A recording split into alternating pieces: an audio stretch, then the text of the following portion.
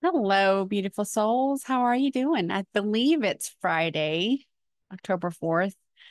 Um, one of the joys of being self-employed, I don't really need to know the date or the day. I just am giving gratitude for waking up each and every one. So today is the second ray of wisdom. I started doing the rays and I was called to do them uh, a while back, but the timing wasn't right. And so I've been really, um, I've always been a little bit of a nerd when it comes to learning the truth and diving into what it means for my own lineage. And so this one's pretty special because my soul father, you would know him as Yogananda, um, one of his incarnations is the Buddha. And the second ray of wisdom is associated with the Buddha. And so um, I feel really connected to this one. Let's dig in. The second ray of wisdom is a consciousness of loving wisdom straight from the heart of the universe.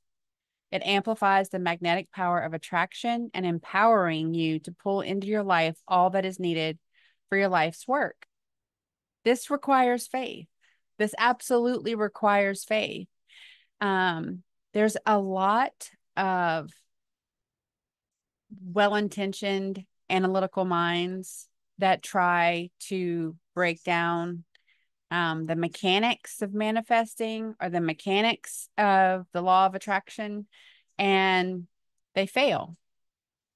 And it's not because they're doing the steps wrong, it's because they lack faith. They lack true faith. That is the power.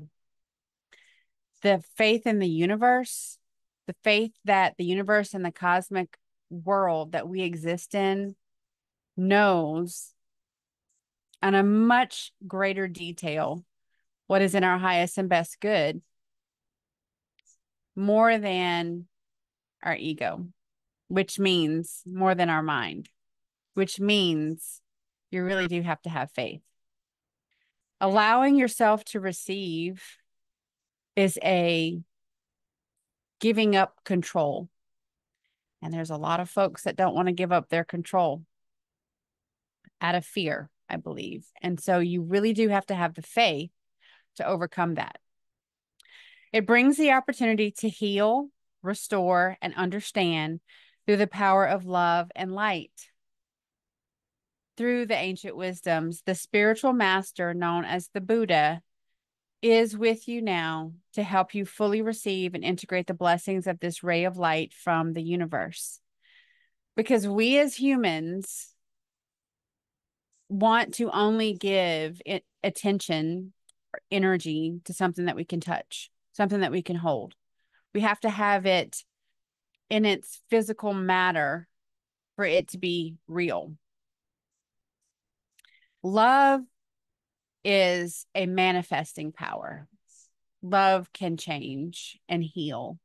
Love can lead us in ways that are truly benevolent. And it helps us restore and transform that that which no longer serves us. And when you're stuck in a rut, you're like a hamster on a wheel. You're just going round and round. You're doing what needs to be done and put one foot in front of the other. And I've been there. I can completely empathize with that. There are days when you're just trying to survive, and that's all you know that you can do is put one foot in front of the other. And I give you credit for at least not giving up. But there's more to life.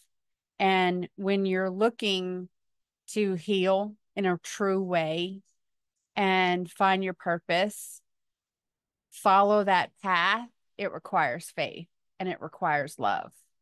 And most of that has to come through you and for you. Like you have to give love to yourself. In order to do that, you have to have faith in the universe and the cosmic forces that are working in your favor that they actually do know what you need, even if you don't recognize it. The second ray of wisdom is the energy of the open and loving heart of the universe. It is inclusive and drawing all things toward it with an invisible magnetism. It is gifted to you at this time to help you attract into your life the people, the opportunities, and the teachings that will help you succeed in your life mission. Allowing new people in your in your vortex.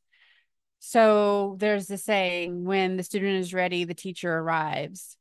And when your frequency is a certain level, when your frequency rises up to be a certain level, you will encounter new beings or beings that you have not noticed before in a different light because of the frequency. Now it's a match.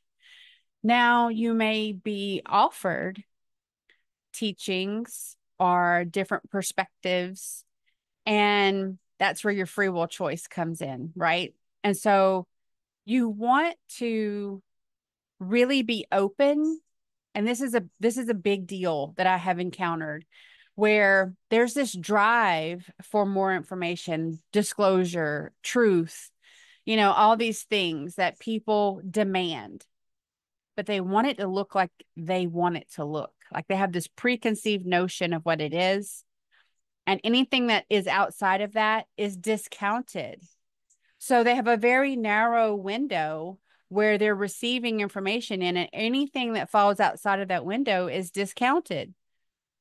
Well, that's not really being open to truth or open to disclosure. You're limiting what you can actually take in. And people do this all the time. It's mostly, again, out of a lack of understanding and true faith. The goal is to have a successful mission while you are honoring your soul contract and path and staying benevolent. So, not overtly trying to cause harm to anyone. And so, when you surround yourself with the same non serving beings, the same beings that make it a point to make you feel bad about things in life, well, you didn't make any changes in in your vortex. And so your information flow is going to be affected by that. So when you truly want change and you truly want for these high frequency, high consciousness things to find you, you really do have to be willing to make some changes. In doing so, the landscape of your life will look different but it should also feel much better. It should feel free. It should feel loving, nurturing, connected to life. You know, where you no longer feel isolated and alone, no matter how many people you have around you. You can be the only physical form in an open space and you feel so much more connection to life because you're truly receiving the frequency. And that that's just a, a, a thing that we have to overcome in our indoctrination in our thinking. This ray will help you focus your consciousness and your heart. It will bring to consciousness any unresolved matters of the heart for healing. This is often the shadows one avoids or procrastinates going through the healing. So there's this um half-assed way people try to get through their shadow work where they recognize something. They knew it all along that they needed to heal from it because it happened to them, right? And they get to the point where they are about to start to feel what they felt whenever it, originally happened and they freak out and they go the other direction. They go, okay, I did it. I did it. LFG, LFG. But you didn't. You stopped short. You have to go deep into the source of the pain whatever that event was, and feel it until it no longer feels like a sharp knife. When the pain starts to dull and the tears start to fade, or the anger starts to fade, or the, the turmoil starts to fade, that's when you can start to process. That's whenever I encourage you to go to forgiveness. Once we truly and completely forgive all involved, For me, that's the best place to start. Then I can give love and I can find the gratitude for the lesson. I can find the gratitude for the growth. I can find the gratitude for them showing up in my soul contract, like we all agreed to ahead of time, and allowing this to transpire so that I can evolve out of this phase of my soul growth. This includes not only issues of relationships, but also issues around trusting your heart to lead you. Because we all have trust issues, because we have grown up on a gangster planet and we have been taken advantage of and manipulated and lied to more times than we care to count. But this ray will help you heal your heart in an affirming and nurturing way. And so, if that is your true desire, let down your guard long enough to start to heal, and things will really start to align for you. The challenge with this ray, given that it is so magnetic and attractive, is learning to discern and say no when you need to. Defining a healthy energetic boundary and being neutral and authentic to enforce them. So, that is basically saying you align so well when you start to go through this process that more comes to your door than you than you need and that you want. So you have to say I'm grateful but not right now. That's not for me right now and put a pause on it. Because you do yourself a disservice trying to process and integrate too many things at one time. Again, there's not a race. This is your journey. It doesn't compare to anyone else's journey. You are unique. Your soul contract was unique, although there are similarities along the way. You have to give yourself time to process it all, and that takes a minute. it's more than just saying, LFG, I'm done with it. You have to feel it. Feeling is the act of healing. So when you run from your feelings, you are literally causing these wounds to stay open. Imagine a fisherman who casts a very wide net and catches most of the ocean. Well, not everything is useful or even desired by the fisherman. While some things are gratefully accepted, the fisherman takes the other things that are best returned to the ocean where they belong with gratitude. Thank you for offering them, but they're not needed at this time. You can have them back. We must be able to trust in future abundance. It's important that we trust in future abundance. You will not need to hold on to every opportunity, every person, or every situation out of fear or loss or feeling of lack. Lack, loss, abandon, poverty, these are all deeply woven into our psyche it's been fed to us over our entire lifetime and throughout society that we have to work work work work work and hold on to everything and and only ration out happiness and ration out love ration out abundance because what if what if what if well in the process of ascension understanding what truly matters, you get to the point where you start to declutter and dematerialize. So you're looking around your space and you're like, none of this really serves the being I am now. I'm going to start to de- get get rid of some of this stuff, give it away so that others can benefit from my abundance that I had early on, things that I thought I needed, but they no longer serve the the me that I am now. And then as you do that, you really do grow into being a more of a minimalist because you understand that all you need is within you. All you need is within. Anything outside of you is extra and not necessary. That's true. Now, there's the seven needs of life air, water, sleep, food, shelter, um, meaningful relationships, and creativity. Outside of that, everything is up for grabs. If you have a space full of stuff and you are utterly miserable, I invite you to start get of, getting rid of your stuff. Give it to people that can get use out of it. Give it to those that are less fortunate. Um, I don't know, whatever makes your heart feel good. But the less stuff you have, the more you can actually connect through your heart center to the divine, to nature, and you pull yourself out of the electronic suck where your face is just not in a device all the time. And you're out living, encountering life, nature. That is where life is. Instead, you are learning to live in the true abundance and flow, practice feeling comfortable and letting go, as well as receiving. And I've seen this in my own life, but also in others. When they start to go down the path of decluttering their physical space, they start to declutter their mind. And then that helps them to receive the things that they've been asking for for a very long time. All of a sudden, it's coming into alignment because they made room you you you have to make room. You have to get rid of the junk that doesn't belong there, which is also the shadows.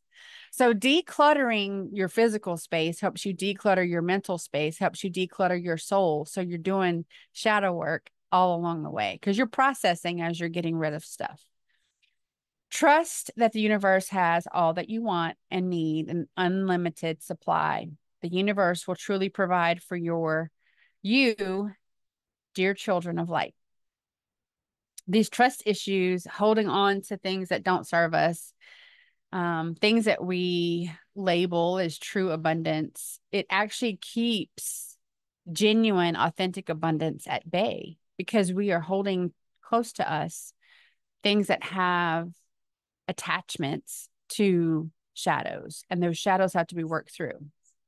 So, you know, if you're holding on to assets of any kind and they are linked to or tied to things that have deep trauma, it is my advice to you that you um, sell them, gift them, give them away, whatever feels right to you. To fully and completely detach from that and let it go. When you do, things that you cannot even fathom will fall into your vortex. You will then align to greater abundance because you've let this go fully and completely.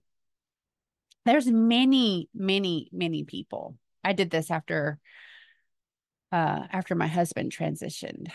Um I filled the void or I attempted to with stuff. That's what we do. We're lonely and we're hurting and there's this hole in our heart and you think, well, I just got. I'm going to buy some clothes. I'm going to get some new shoes. That'll make me feel better. Oh, I'm going to get that back, you know, and then you get stuff. You get stuff to fill the hole in your heart, and it doesn't work. It doesn't work. And every time you look at that stuff, you think about the hole in your heart. You think about what was going on when you decided to get this stuff and it's just not in your highest and best good. The stuff truly can be replaced. Your heart is your heart, and you need to heal it, whatever that takes. This is very different way of thinking to how most humans are conditioned from an early age. But it's never too late to change one's mind and open one's heart to more loving, abundant, and enjoyable way to live the way humans are taught to live is really we're being taught how to survive, right? We're taught to work, eat, sleep, work, repeat. Work, eat, sleep, work, repeat. Work, eat, sleep, work, repeat. And then you get a couple of days off to rest and try to squeeze in all the things that make you feel alive in a half of a day. And then you get get prepared to go back to work, eat, sleep, repeat, work, eat, sleep, repeat. That's not living. That's not thriving. That is surviving. That's why we feel like we're in survival mode all the time. When the Buddha comes into your world, he brings the gift of wisdom. That includes openness to all that is without judgment. Gosh, judgment. Such a pill. Judgment is a low frequency act that causes core wounds in souls. Shadow work and healing will guide you away from judging. This might be a struggle that will eventually be revealed as a blessing in disguise. It might be the challenge that causes you to grow into readiness for that next phase of your divine life mission. Finally, as the second ray of wisdom relates particularly to teachers and education, you are encouraged to trust that you have a message to share and that it is helpful and educational for others. When I accepted to step into my mission, I was called to share my messages with people. And I know my role is to share what I'm led to share. It's not up to me. I don't really determine um, what to share with you in a message. Like I said, I was led to the the light rays months ago but it wasn't the right time. And I always ask for guidance on what I should be sharing with the collective. It's not up to me to determine how you receive it, but I'm giving it to you in the way directed to me from the divine. It's my intention to drop the seed that grows in your intuition. Whether your involvement in education and teaching is formal or less obvious, you are encouraged to honor the energy of the teacher in your life. We all have something to share. In some ways, your soul purpose likely involves helping others to learn through wisdom and through love. Paramahansa Yogananda, my soul father, on this last incarnation, 1893 to 1952, was also incarnated as Buddha. His message to the collective once you realize worldly wisdom lives within you, meditation becomes more motivated in order to attune to the divine, and nothing is impossible. In chaos, keep stillness within. If you want to be loved, be lovable. The wisdom and love we are to realize and share flows freely from within as we connect to the divine. If you're ready to receive this blessing, verbally accept as I read this invocation. Invocation for the second ray of wisdom. And I'm going to do this. So I'm going to go ahead and give my actual soul name and title.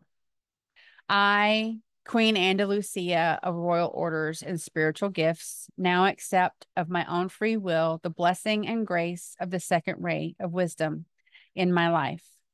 Through unconditional love and divine mercy, I open my heart with joy to the magnetic and creative field of attraction.